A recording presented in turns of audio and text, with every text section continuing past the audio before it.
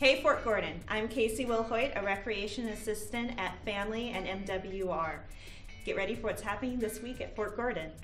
The Woodworth Consolidated Library will have Santa, the Signal Corps Band, and Coco on December 11th from 10 a.m. to 11 a.m. And be sure to register for this event and you get all the information you need from Joyce or Evelyn at the library. Recreational shooting at Fort Gordon Sportsman's Club is Saturday, December 14th from 9 a.m. to 5 p.m. And in case you missed that date, recreational shooting is also every Wednesday, Thursday, and Friday from 11 a.m. to 6 p.m. Do not miss the Army versus Navy game Saturday, December 14th, starting at 12 p.m. Join us for ceremonies and games and presentations with a true tailgate fashion viewing. Everyone's invited for this fun filled event.